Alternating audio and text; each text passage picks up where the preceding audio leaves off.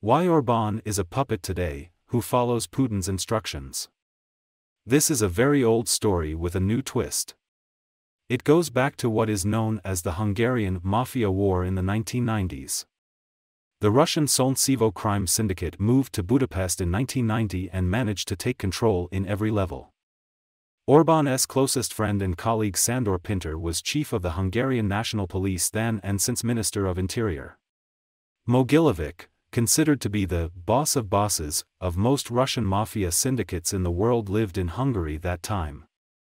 After Mogilevich arrested in Moscow, he yielded some of his assets and shared his documents compromising Viktor Orban with the Kremlin. The document might be a video with compromising info on Orban, filmed back in the mid-1990.